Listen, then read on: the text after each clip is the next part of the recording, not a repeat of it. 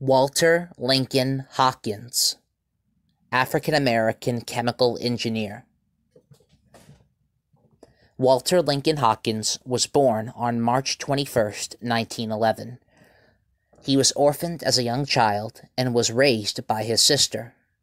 He faced a difficult upbringing in a world where it was difficult for African Americans to find adequate encouragement in education and at work.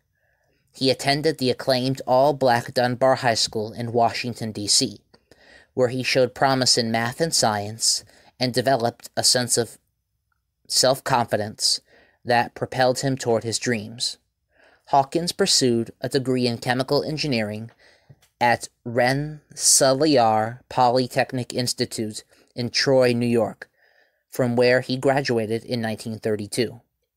He went on to complete a master's degree in chemistry at Howard University and a doctoral degree at McGill University in Montreal. His specialization was cellulose chemistry. After completing his education, Hawkins took on a postdoctoral fellowship at Columbia University. In 1942, he was offered a position at AT&T's Bell Laboratories in Murray Hill, New Jersey, where he became the first African American scientist on staff. Over the course of his 34-year career at Bell Labs, he developed a reputation for adding years to the life of plastics, enabling universal telephone service, and even more important to service providers, making it economical. At Bell Labs, Hawkins conducted research on polymers, specifically thermal and oxidative stabilization of polymers for telecommunications. Up until about 1950, telephone cables were coated with a costly as well as toxic lead based material. This was replaced with polyethylene, which was introduced after World War II by the British.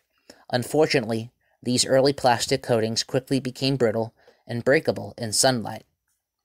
In 1956, Hawkins, along with partner Victor Lanza, invented a polymer that had all the desired characteristics. This polymer was essentially a plastic that contains a chemical additive composed of carbon and antioxidants that prevents the material from deteriorating, even in severely hot or cold weather conditions. The new material, now known as, quote, plastic cable sheath, unquote, went into production in the 1960s and became widely used as an inexpensive, durable, and safe coating for telecommunications wire. It is still used today to protect fiber optic cable. Hawkins was named head of plastics chemistry R&D at Bell Labs and later assistant director of the Chemical Research Laboratory in 1963, he became Bell Labs Supervisor of Applied Research, and in 1972, he was promoted to department head. Among his numerous technical achievements at Bell Labs was his design of a lab test using spectroscopy to predict the durability of a, pla- of a plastic surface. He also contributed to the development of techniques for recycling and reusing plastics. He published three books, more than 50 scientific papers, and earned 18 US and 129 foreign patents. He was also very active as a mentor of disadvantaged and, mi- and minority youth. He became the first chairman of the American Chemical Society's Project SEED, Summer Educational Experience for the Economically Disadvantaged. In 1976, he retired from Bell Labs, but he remained active as a mentor, educator, and industrial visionary for many years later, from, 1950, from 1976 to 1983, he served as the research director of the Plastic Inst- Plastics Institute of America. He also taught at New York's Polytechnic Institute and acted as a technical consultant for chemical and pharmaceutical companies. Before his death in 1992, Hawkins was honored with a National Medal of Technology presented to him by President George H.W. Bush.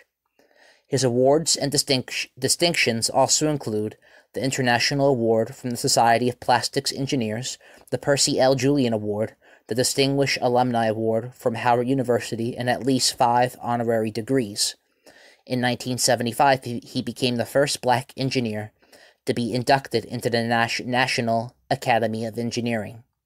Bell Labs annual Lincoln Bell Labs annual W. Lincoln Hawkins Mentoring Excellence Award is named in his honor.